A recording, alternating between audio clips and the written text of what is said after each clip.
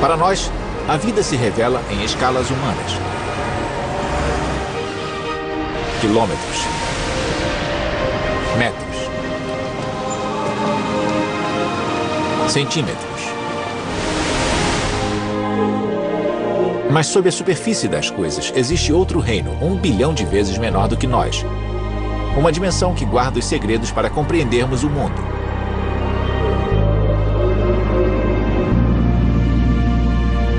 Que torna o aço resistente?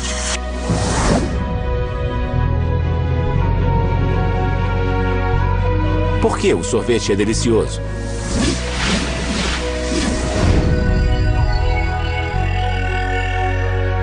O que torna a vida possível?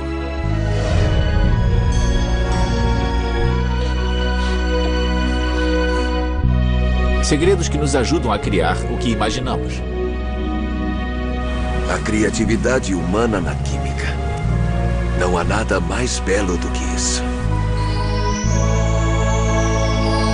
Este é o mundo da química.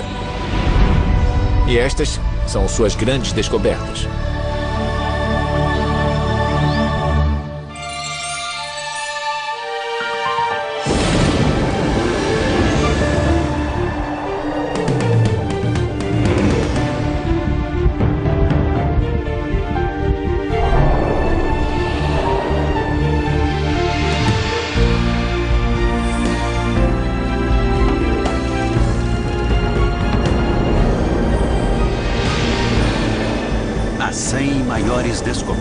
Da história.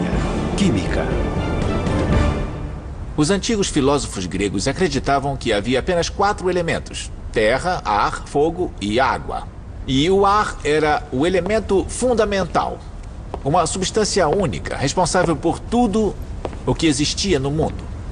Séculos mais tarde, Leonardo da Vinci foi um dos primeiros a sugerir que, em vez de ser um elemento, o ar talvez fosse composto por dois gases diferentes. Isso permaneceu um mistério até nossa primeira grande descoberta. Oxigênio.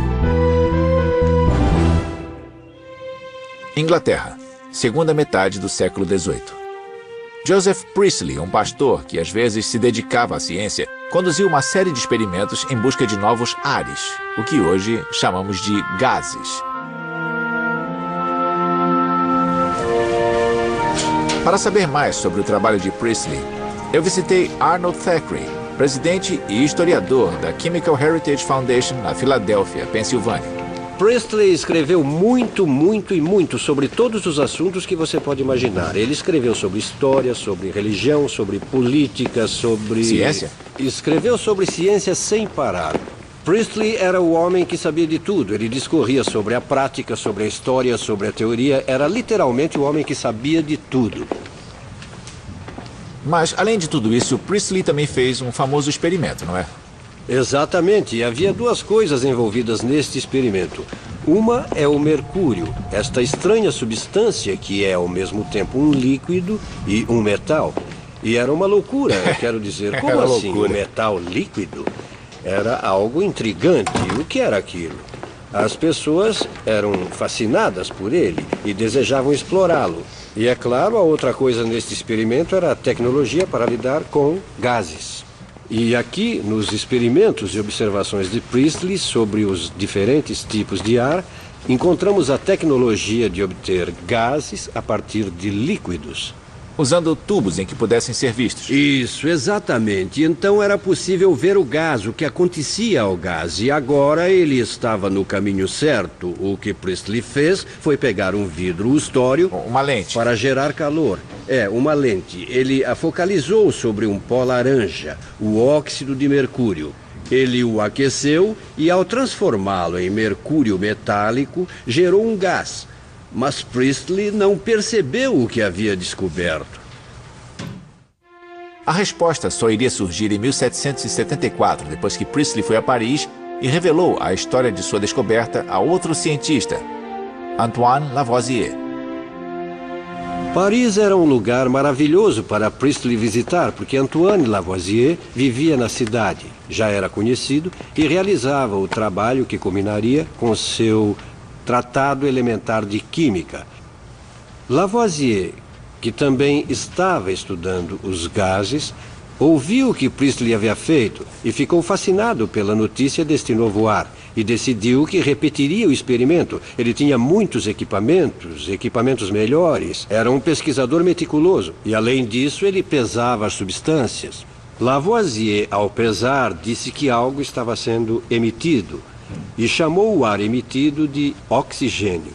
Ele reescreveu todo o tratado sobre química e criou uma lista de elementos que ainda usamos hoje.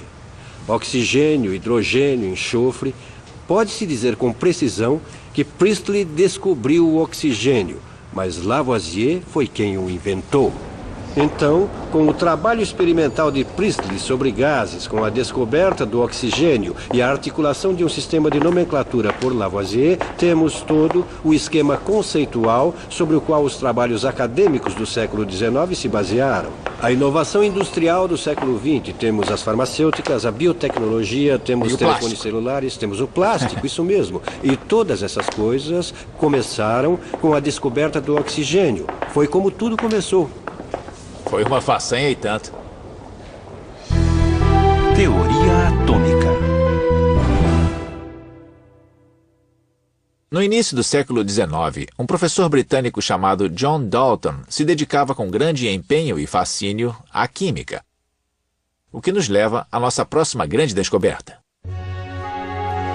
O experimento de Dalton demonstrou que os elementos conhecidos como oxigênio, hidrogênio e carbono se combinavam em proporções definidas e constantes. A partir de seus cálculos, ele supôs que os elementos deviam ser constituídos de pedaços menores e invisíveis de matéria, com pesos relativos e distintos. Ele chamou esses pedaços de matéria de átomos. Então, o que Dalton descobriu? E foi a sua grande descoberta, foi o que ele chamou de pesos relativos das partículas fundamentais. Partículas fundamentais. É, foi como a chamou, é uma frase adorável. Mais tarde, quando ele a publicou, substituiu por pesos atômicos. É como conhecemos atualmente, mas eram partículas então fundamentais. Então ele usou a palavra átomos. Ele usou a palavra átomos. A ideia do átomo, é claro, remonta a Demócrito, mas o problema é se é só uma ideia, tem alguma utilidade? E Dalton foi exatamente o homem que tornou a ideia útil. Essa foi a sua grande contribuição. A partir de seu trabalho, Dalton desenvolveu a hipótese do que viria a ser conhecido como teoria atômica, um novo e revolucionário sistema que definia as relações entre os átomos e os elementos. É um sistema incrivelmente simples. Dalton pensava de forma muito simples muito visual. Aqui estão os elementos, aqui está o peso dos elementos, aqui estão as moléculas complexas.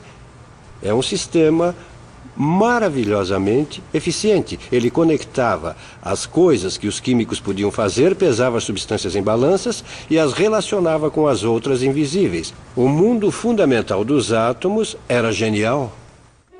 Qual a importância da descoberta de Dalton? Sua teoria atômica ajudou gerações de cientistas a revelar os mistérios do mundo molecular e atômico, incluindo nossa próxima grande descoberta. Átomos se agrupam em moléculas.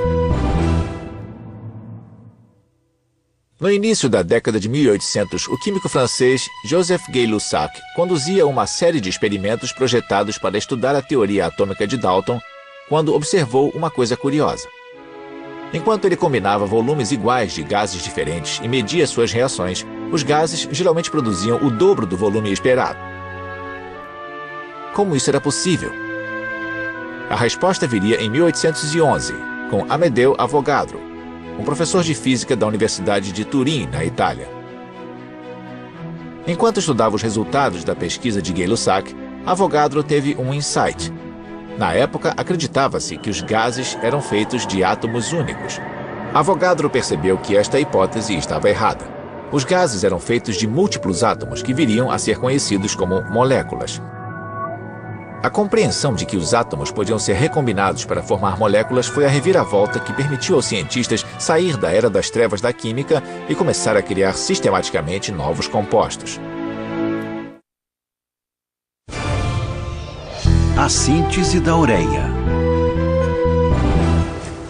Nossa próxima grande descoberta ocorreu no século XIX, quando muitos químicos acreditavam que as substâncias orgânicas dos organismos ou coisas vivas eram de alguma forma diferentes das substâncias inorgânicas das coisas não vivas. Mas isso estava prestes a mudar. Em 1828, Friedrich Wöhler estava trabalhando em seu laboratório quando alguma coisa lhe chamou a atenção. Wöhler havia colocado duas substâncias químicas inorgânicas em uma proveta, cianeto de potássio e sulfato de amônia. Mas quando olhou a proveta, ela continha uma quantidade de cristais pequenos e brancos em forma de agulha. O que torna isso notável é que Wöhler pensou ter visto exatamente os mesmos cristais antes, mas com uma diferença importante. Estes cristais eram orgânicos. Ele os havia cristalizado enquanto estudava a química de várias substâncias encontradas na urina. Para ter certeza de que não havia se enganado, Wöhler analisou os novos cristais. Não havia dúvidas. Estes cristais eram os mesmos que ele havia isolado antes. Ele havia produzido ureia. Era uma substância vinda de um ser vivo que ele fez a partir de substâncias inorgânicas. Um pouco mais tarde, ele afirmou numa carta pessoal, não na imprensa, algo assim. Eu produzi ureia, sem um rim. Ele sabia o que havia feito. Conheça Roald Hoffman, vencedor do Prêmio Nobel de Química em 1981 por desenvolver uma teoria para explicar as reações químicas orgânicas. Falando sobre a descoberta da fabricação artificial de ureia, por que é uma grande descoberta? Bem, chega uma hora em que é preciso uma descoberta, e às vezes apenas uma, irá romper limites e conseguir derrubar barreiras. Essa descoberta foi assim. Que interessante. Ela não era apenas importante intrinsecamente, mas na época em que ela ocorreu, a simples fabricação de ureia, a partir de duas substâncias químicas inorgânicas, acabou chamando a atenção das pessoas. A história por trás da descoberta se refere à base fundamental, os componentes que constituíam toda a matéria orgânica e inorgânica. Eram os mesmos, átomos. Estrutura química. Se essas peças de Lego existissem na primeira metade do século XIX, os químicos as teriam utilizado para ajudar a ilustrar uma coisa que viram em seus experimentos. Um fenômeno que levou à nossa próxima grande descoberta. Os átomos de elementos específicos, como sódio e cloro, pareciam se agrupar em proporções fixas. Foi este poder combinatório dos átomos que inspirou o cientista alemão Auguste Kekulé a desenvolver um sistema de visualização da estrutura química de várias moléculas. Kekulé representava os átomos por seus símbolos, e então adicionava marcas para indicar como eles se uniam entre si, como elos em uma cadeia. Era uma fórmula simples, mas elegante. Os químicos agora dispunham de um modelo para ilustrar com clareza as estruturas químicas das moléculas que estavam estudando. Havia apenas um problema. A benzina era o único elemento conhecido que não se adequava à fórmula de Kekulé. A cadeia de átomos de carbono e hidrogênio da benzina exigia uma combinação maior do que a fórmula permitia. Todos esses professores de química orgânica ficaram intrigados e ofereciam diferentes explicações. Um deles, Auguste Kekulé, sentado diante da lareira uma noite, caiu no sono e começou a sonhar com uma cobra. Mas se você olhar direitinho, Kekulé acabou sonhando com uma cobra que morde o próprio rabo. E se parar para pensar, talvez fosse um círculo, e isso podia ser a resposta ao enigma. Os seis átomos de carbono das moléculas de benzina não estavam ligados em uma cadeia. Como a cobra, eles formavam um círculo. Cada um com um átomo de hidrogênio unido por ligações que se alternavam entre ligações unitárias e duplas. Em pouco tempo, o insight de Kekulé foi confirmado, e seu efeito foi revolucionário. Os químicos sabiam que todas as substâncias orgânicas continham um ou mais átomos de carbono em suas moléculas. Com a descoberta de Kekulé, agora eles dispunham da fórmula fundamental para explicar como o carbono se combinava com outras moléculas para formar um mundo de compostos químicos. Nascia então a era moderna da química orgânica.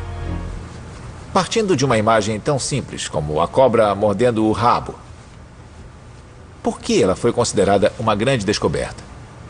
Era uma fórmula para novas drogas, novos remédios, um novo entendimento. Se voltarmos no tempo, à época de Dalton, havia algumas centenas de compostos, logo alguns milhares, e depois uns 10 mil, incrível. Logo havia 100 mil. No ano passado, 15 milhões de novos compostos foram registrados. Todos com base neste modelo simples. Esta é uma obra de gênio. Tabela periódica dos elementos. Em 1869, um professor de química russo chamado Dmitry Mendeleev estava escrevendo um livro escolar para seus alunos quando começou a imaginar como poderia explicar melhor os 63 elementos conhecidos naquela época. Para ajudar a formular seus pensamentos, ele criou uma ficha para cada elemento. Em cada ficha, ele escreveu o nome do elemento, seu peso atômico, suas propriedades típicas e suas semelhanças com outros elementos. Ele então posicionou as fichas como um jogo de paciência e começou a rearranjá-las repetidamente em busca de padrões. Então veio o momento da descoberta. Diante dele havia algo extraordinário. Os elementos se ajustavam em cinco agrupamentos verticais.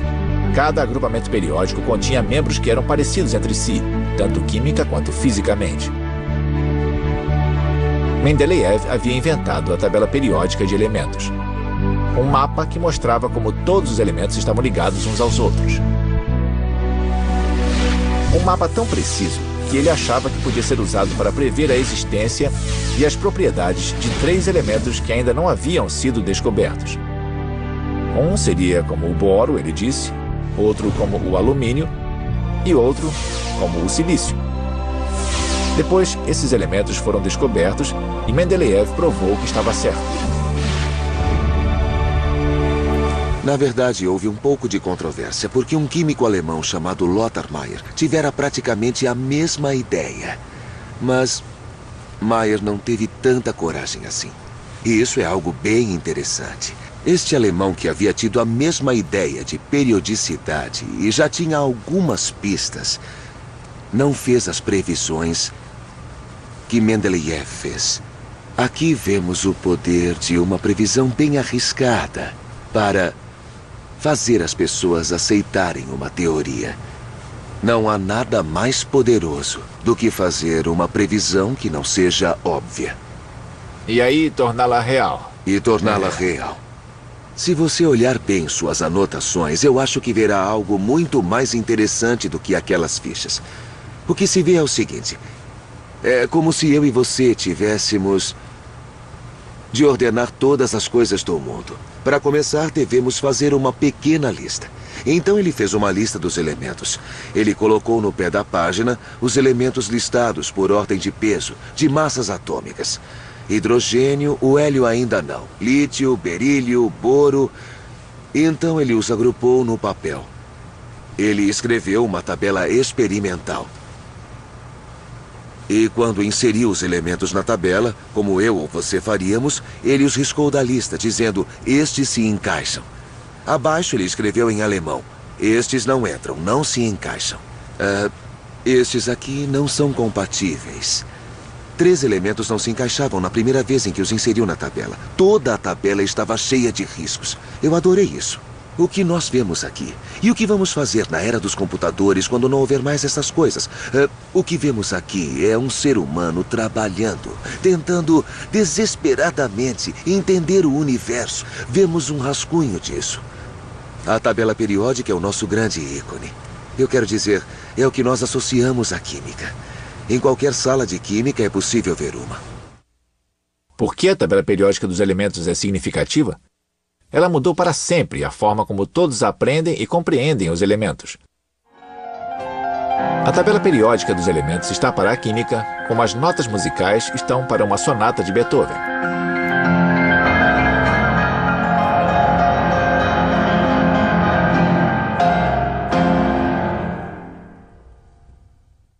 Para homenagear Mendeleev, seu nome agora está literalmente ligado à tabela periódica. O nome do elemento 101 foi inspirado em seu nome. Ele se chama Mendelevio. Não são apenas os químicos que gostam da tabela periódica. Eu ouvi que você também carrega uma. Ah, com certeza. Carrego sim. Eu quero Ah, ver. nunca se sabe. E eu a uso muito. Vamos ver. Ela é pequena. Bem, vamos fazer um teste. Tudo bem. Eh, o que está abaixo do nitrogênio na tabela periódica? Nitrogênio é 7. É, o eu que preciso pensar está bastante. abaixo... enxofre. Não, você Ah, errou. não. É por isso que eu Quase carrego ela. passou perto. Ah, o É o fósforo. fósforo. É, fósforo, Fósforo, é 15, ele né? é- O fósforo é 15. É, precisa É. adicionar oito naquele ponto. Então é por isso que eu carrego. Eu não consigo me lembrar. Então é 7 mais 8, 15 fósforo, entendi. Existe um padrão aí, não é? A eletricidade transforma as substâncias químicas. Na virada do século XIX, a eletricidade estava em alta. As pessoas se dedicavam a fazer baterias e as conectavam a qualquer coisa, só para ver a reação. A eletricidade era como uma nova espécie de fogo. Um dos grandes viciados em baterias na época era Humphrey Davy, um químico inglês autodidata. Em 1807, Davy estava realizando um experimento com baterias em seu laboratório. Ele derreteu um pouco de carbonato de potássio, um mineral encontrado no solo que também constitui as cinzas da madeira. Os químicos especulavam que o carbonato de potássio era um composto formado por diversos elementos, mas não conseguiam provar isso. Dave queria ver se a eletricidade podia ter a resposta. Ele instalou alguns fios vindos de uma das baterias maiores ao carbonato de potássio derretido.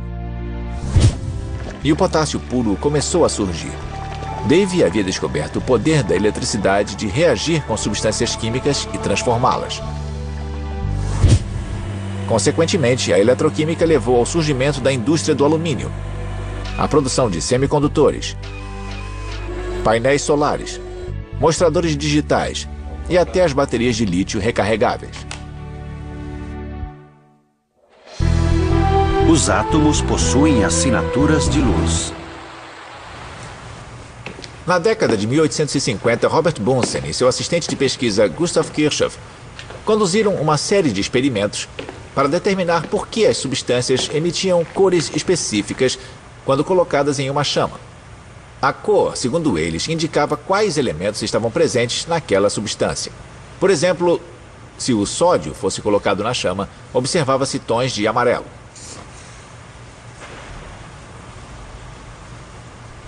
Cobre, tons de verde. Estrôncio, tons de vermelho.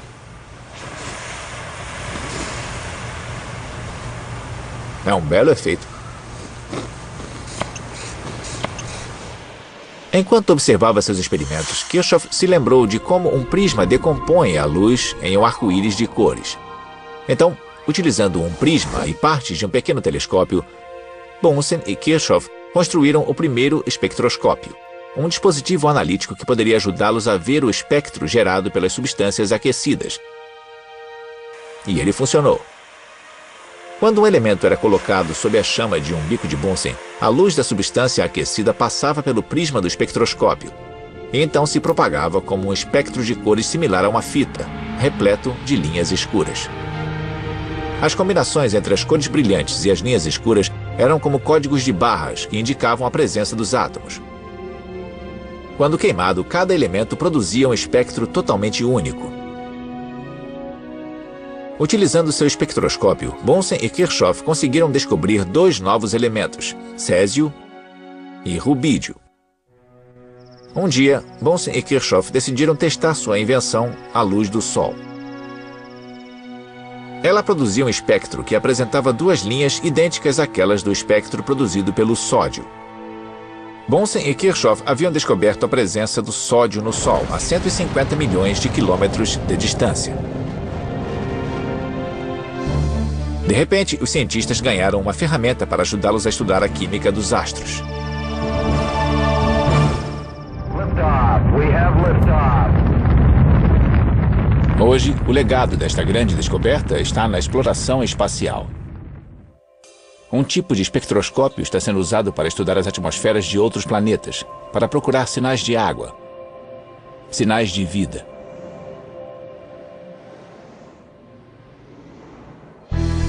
O elétron. Nossa próxima grande descoberta é a história de Joseph Thomson e do elétron. Aqui somos nós. Então, tudo o que vemos é formado por substâncias químicas. Isso mesmo. E no futuro? E todas estão ligadas por interações eletrônicas. Ainda bem. Para saber mais sobre isso, eu visitei a Universidade de Harvard. Dudley Hirschbach é professor aqui e ganhou o Prêmio Nobel de Química de 1986 por sua pesquisa sobre a dinâmica dos processos químicos elementares. Então, Thomson descobriu o elétron. Bom, é claro que isso aconteceu, mas ele não descobriu como se dissesse, Eureka, eu descobri, aqui está. Ele fez um experimento que permitiu a mensuração do coeficiente da carga, a carga elétrica, a massa. E depois ele pôde obter uma medição geral da carga e então provar que a massa era muito, muito pequena. Era cerca de um, dois milésimos da massa do átomo mais leve conhecido, o átomo de hidrogênio. Isso provou que ele poderia extrair e analisar um pedaço muito pequeno de um átomo. Bom, isso foi um tremendo choque para as pessoas. Parecia piada.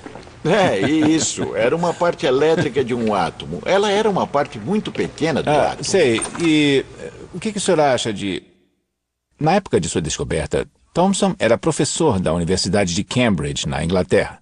Ele estava usando um equipamento chamado tubo de Crookes em seus experimentos. É, realmente, sabe, olha, por acaso, eu tenho aqui um pequeno aparelho que é similar ao que J.J. Thomson usou em 1897. Isso se chama tubo de raios catódicos. É apenas um pequeno cilindro de vidro vazio com alguns eletrodos. Vamos ligá-los e mostrar os pontos-chave do experimento dele de Uma forma réplica do primeiro tubo de raios catódicos. É. Foi o primeiro tubo de raios catódicos, um ancestral do tubo da televisão, na verdade. Ao acionar o aparelho, obtemos um feixe de raios catódicos ou elétrons passando por aqui, e eles aparecem quando alguns deles se chocam nesse pedaço de papelão revestido de fósforo. Aqui eu vou criar um campo Ah, magnético que você pode usar para desviar os elétrons. Quando Thomson expôs o feixe de raios catódicos a um ímã, a corrente se curvava. Já que os ímãs só podem afetar a matéria, aquilo significava que o feixe de raios era composto por algum tipo de substância eletronicamente carregada, chamada de matéria radiante. Depois de muitas horas de observação e mensuração, Thomson percebeu que havia encontrado as primeiras partículas subatômicas. O raio era um feixe de elétrons. Foi uma descoberta revolucionária. Alguns anos depois, um aluno de Thomson, Ernest Rutherford, conseguiu demonstrar que a carga positiva em átomos que tinha de estar lá para equilibrar as cargas negativas destes pequenos elétrons que se moviam rapidamente estava localizada em um núcleo minúsculo 100 mil vezes menor que o tamanho do átomo. Então, quase toda a massa estava, é claro, também naquele núcleo, porque os elétrons são muito leves. E ainda é o modelo que nós temos hoje, não é? Esse é o modelo básico dos átomos e, claro, é a chave para entender tudo que envolve os Como átomos. a química. Especificamente como a química, isso mesmo. Elétrons formam ligações químicas. Os cientistas estavam começando a descobrir a anatomia do átomo. Agora eles queriam entender seu comportamento, especialmente o mecanismo que permitia que átomos de certos elementos se combinassem com átomos de outros elementos para formar novas substâncias. No início do século XX, o químico norte-americano Gilbert Lewis desenvolveu um modelo de átomo que forneceu a resposta. Foi ele quem explicou que os elétrons e as ligações químicas dos átomos não estavam no núcleo, que os elétrons orbitam em camadas ao redor do núcleo. No modelo atômico de Lewis, cada camada permitia apenas um número máximo de elétrons. Lewis teorizou que dois elementos químicos podiam se combinar para formar um composto quando cediam ou aceitavam elétrons de seus orbitais externos. Por exemplo, sozinhos, o sódio e o cloro são perigosos. Mas quando um único átomo de sódio cede o elétron de sua última camada e a última camada de um átomo de cloro o aceita, Esta troca permite que os dois se liguem e formem o composto cloreto de sódio, o sal de cozinha. A teoria de Gilbert Lewis constituiu um avanço extraordinário. Ela permitiu que os cientistas começassem a fazer compostos químicos, milhões deles, compostos que moldaram a face da vida moderna.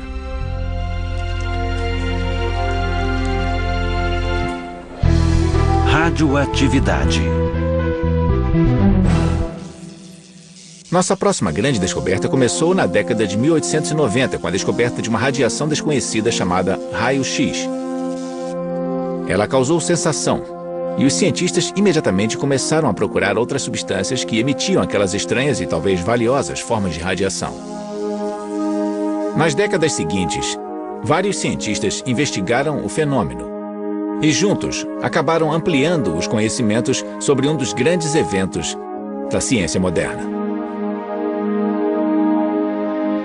O médico francês Henri Becquerel foi responsável pelo primeiro avanço significativo. Em 1896, ele conduziu uma série de experimentos para verificar se vários minerais emitiam radiação. Um dos minerais que ele veio a testar era o urânio. A técnica de Becquerel consistia em colocar diferentes objetos sobre uma chapa fotográfica envolvida com um papel preto protetor.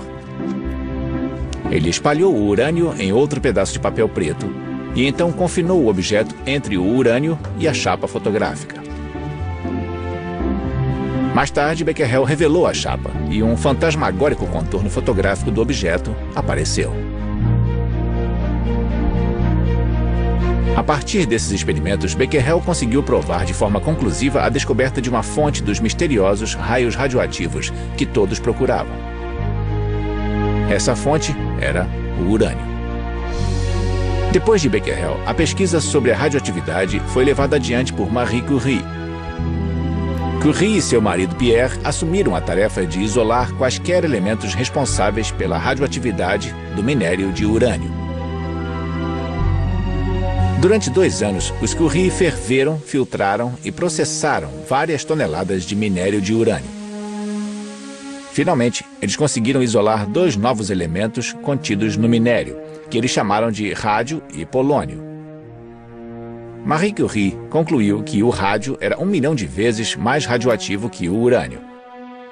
E o que é mais importante, ela determinou que a misteriosa forma de energia que permitia que a radioatividade penetrasse em outros materiais não era resultado de um processo químico, mas parecia ser atômico por natureza. Infelizmente, suas descobertas custaram um alto preço. Naquela época ainda não se conhecia bem os perigos da exposição à radioatividade. E em 1934, Marie Curie morreu de leucemia, provavelmente devido à intoxicação causada pela radiação. Até mesmo as anotações em que ela registrava suas observações ainda são consideradas radioativas demais para serem manipuladas. Foi a natureza atômica da radioatividade que atraiu o interesse do físico Ernest Rutherford, de quem já falamos na descoberta do elétron. Rutherford descobriu que o material radioativo passava por um processo natural de decadência. Ao se mover durante o processo, a radioatividade espontaneamente emitia partículas instáveis e altamente carregadas de energia, com o poder de penetrar a matéria. Rutherford a chamou de partículas alfa e beta e de raios gama. Desde essas descobertas, aprendemos muito sobre a radioatividade, seus perigos e seus benefícios. A radioatividade nos deu os diagnósticos por imagem, um tratamento para os tumores, um método de calcular a idade da Terra, e uma fonte de energia para que as espaçonaves explorassem o sistema solar.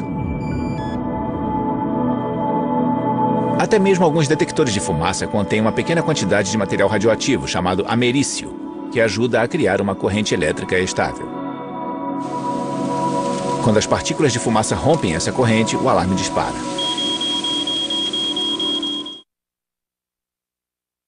Séculos atrás, os alquimistas tinham grandes ambições eles procuravam a riqueza infinita e a imortalidade por meio de transformações milagrosas da matéria. Acabaram inventando instrumentos úteis e objetos de vidro, mas não muito mais do que isso. Os químicos, por sua vez, foram mais humildes e acabaram mudando a aparência do mundo material, assim como nossa próxima grande descoberta. Plásticos. Na década de 1860, John Hyatt, um tipógrafo e químico amador de Albany, Nova York, fez história ao descobrir uma forma de explorar as longas e intrincadas moléculas de celulose encontradas naturalmente nas plantas, criando o primeiro plástico. 50 anos mais tarde, o químico belga Leo Baekeland deu o próximo passo no processo de descoberta. Bem, um dos grandes pioneiros foi Leo Baekeland. Ele fez um polímero chamado baquelita. Podemos dizer que a sorte favorece mentes preparadas. Ele misturava coisas, mas sabia bem como explorá-las. Ele viu as propriedades interessantes disso. A partir das duas substâncias químicas derivadas do carvão, Baekeland descobriu o primeiro plástico totalmente sintético. E o cenário do século XX mudaria para sempre. O que é exatamente o plástico? Plásticos são polímeros. E o que são polímeros? Polímeros são longas cadeias de moléculas, não moléculas individuais que então se agrupam num sólido ou algo assim. São moléculas que se prolongam bastante. Cadeias de átomos de carbono, às vezes com outros elementos nelas. E quais são as vantagens? Bem, ele é moldável. Você pode entorná-lo em forma líquida, dentro de algum molde. Resistência. Bem, Foi ótimo. Nada mal. É possível fazer coletes à prova de balas com plástico. E certamente sabemos que, em termos de fibras, ele pode imitar e até superar as. as propriedades das fibras naturais. Nenhum pescador do mundo voltaria a usar redes feitas de algodão, pode apostar. Hoje, estas redes são feitas de nylon. O plástico é incrível. Nós temos materiais plásticos que podem ser muito resistentes, muito flexíveis também. Podem ser até fibras. Eles substituíram materiais de construção em vários estágios. O que é interessante é que eles também são naturais, eles chegam até nós por meio das proteínas e dos ácidos nucleicos. E também, como produto da evolução cultural, nós o criamos. Eu quero dizer, o poliacetileno não existia na Terra antes. Nós o fizemos com propriedades minuciosamente determinadas. É uma extensão da química para coisas, coisas que não constituem apenas uma molécula, mas são uma cadeia, uma estrutura tridimensional. Eu acho que é uma forma de nós tentarmos exercer controle sobre o ambiente. Então você diria que a descoberta do plástico é uma grande descoberta? Veja bem, a ciência produz polímeros, produz nylon, produz viscose, que tinha um ponto de partida natural, mas foi transformado em um polímero. Nós produzimos plexiglass ou polietileno. E estes são os materiais estruturais da nossa civilização. Eu acho que os polímeros são, neste sentido, um exemplo da criatividade humana dentro da química. Não há nada mais belo do que isso. Fulerenos. Um único grama deste pó preto custa 500 dólares, cerca de 30 vezes mais do que o ouro. O interessante é que se trata de um tipo especial de fuligem, feita de moléculas chamadas nanotubos de carbono. Cada nanotubo tem cerca de um bilionésimo de metro de diâmetro, mais fino que um filamento de DNA. Ele abriga um mundo de promessas e acende a imaginação de muita gente, incluindo os cientistas que ajudaram a descobri-los.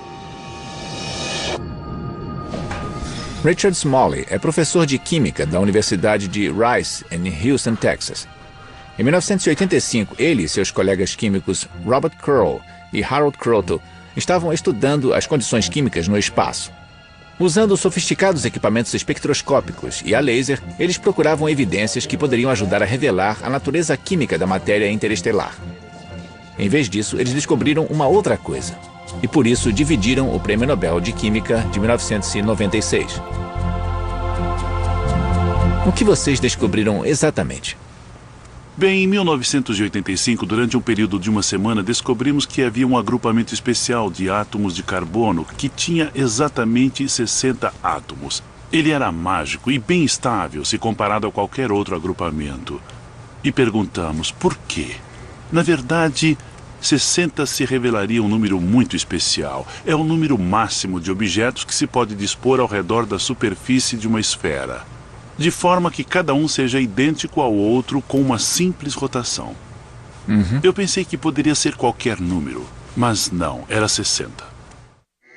Smalley, Croto e Crow chamaram as novas moléculas de bolas de Bucky em homenagem a Buckminster Fuller, o arquiteto que projetou a cúpula geodésica. O que eles haviam descoberto foi uma classe inteiramente nova de grandes moléculas de carbono, que foram chamadas de fullerenos. Uma molécula não ocorre apenas quando alguns átomos são unidos por boas ligações a outra propriedade em uma molécula. E quando inserimos o último átomo, é como se ela travasse e pronto. É estável. E se oferecermos a ela outro átomo, ela diria obrigada, mas estou feliz deste jeito. Isso era a AC60. Oferecemos a ela outros átomos de carbono. No aparelho que construímos, ela disse: Não, vou ficar com este 60. Então, esta era uma molécula. Ao menos uma molécula na minha concepção que parecia explicar a razão pela qual apresentava a maior simetria de qualquer molécula já descoberta. Era algo grande, tinha cerca de um nanômetro de diâmetro, cerca de 10 angstroms, um nanômetro, um bilionésimo de metro.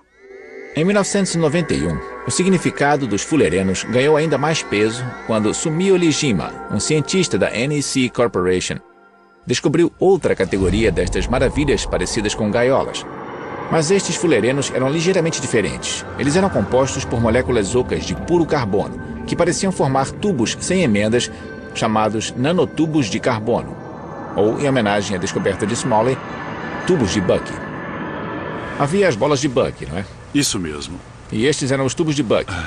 Bem, estas coisas ficaram muito grandes agora. Um tubo do diâmetro desta bola tem este tamanho. E este é um fulereno, o mesmo tipo de estrutura. Aqui estão os pentágonos, aqui ali os hexágonos. Temos seis pentágonos aqui, seis pentágonos aqui, doze no total. E entre eles todos estes hexágonos. E esta coisa parecia uma cápsula de Buck. Mas você pode imaginar que esta coisa seja muito comprida, mas ela era milhões de vezes mais comprida que seu diâmetro atual. Ah, este objeto possui propriedades incríveis. Como o quê? Bem, por exemplo, se em vez de segurar este objeto de plástico, que posso quebrar facilmente, fizer isso com um tubo de Buck nas mãos e tentar quebrá-lo, vai descobrir que é o objeto mais rígido do universo. Chega a ser Então- mais duro que o aço? Mais duro que mais o duro aço. que o diamante? Mais que o diamante. Mas você é grandinho, pode puxar. Você verá que pode esticá-lo bastante antes que se rompa. E esperamos descobrir que ele seja 100 vezes mais forte que o aço em tensão. É a fibra mais forte que podemos produzir a partir de outra coisa, para sempre. Se daqui um milhão de anos você me perguntar qual é a fibra mais forte, será a mesma coisa. Alguma coisa precisa ser o mais forte entre todos os objetos possíveis. É isto. E é só carbono. E você pode usar carvão, ou esgoto, ou pneus de borracha e transformá-los em tubos de Buck. Pense no que poderíamos fazer com isto. Poderíamos fazer novas fiações, poderíamos fazer cabos elétricos para conduzir eletricidade melhor que o cobre com um sexto do peso. Então, quando você pensou nisso, parecia bom demais para ser verdade? Parecia assim, sei lá, mágico? Parecia, parecia, pois qual é a chance de se descobrir uma coisa como esta? Mas isto é um dos detalhes fascinantes sobre o estágio atual da nossa compreensão em física e também em química. Na verdade, podemos calcular o comportamento das coisas muito bem hoje em dia. O grande mistério das bolas de Buck e destes tubos não é que seria ótimo se pudéssemos produzi-los, foi descobrir que nós podemos produzi-los. Os nanotubos de carbono são, em parte, responsáveis pela popularidade da nanotecnologia hoje. Alguns a descrevem como uma revolução industrial dos dias modernos. A nanotecnologia remete à construção de coisas partindo do zero, como este nanomotor. É a capacidade de montar os elementos fundamentais atômicos e moleculares da natureza para criar uma nova geração de produtos e aplicações que são mais fortes e mais precisos. Este será o novo domínio da química? Será a próxima esfera desta ciência? Fico feliz em ver que você usa a palavra química para isso, porque é o que realmente é. Não temos como pegar cada átomo com nossos dedos e colocá-lo aqui. Temos que ter átomos que se autoestruturem. E eles devem vir de uma fonte de átomos baratos para que sejam feitos eficientemente. Temos um nome para isso, chamamos de química. É claro que hoje chamamos nanotecnologia. Mas é a mesma coisa quando procuramos fazer uma estrutura com uma forma exata e também bastante específica em centenas de trilhões de vezes por segundo baixo custo, sem impacto ambiental, uh, fornecendo um objeto que nos permitirá fazer algo que tecnologicamente não podíamos fazer antes. Fazer objetos que, se formos bons mesmo, serão o nível mais avançado do refinamento. A forma como a natureza construiu as moléculas das células vivas agora estará em toda parte. Será um grande estímulo ao trabalho. Sim, e é uma coisa até romântica. Passaram-se apenas dois séculos desde o tempo em que os átomos eram uma mera hipótese, a iminência de podermos quebrar átomos e moléculas e construir uma nova tecnologia com fantásticas possibilidades. As grandes descobertas que acabamos de ver ajudaram a fazer isso acontecer, explorando sob a superfície das coisas, no interior do mundo da química e mudando o mundo. Versão brasileira Vox Mundi.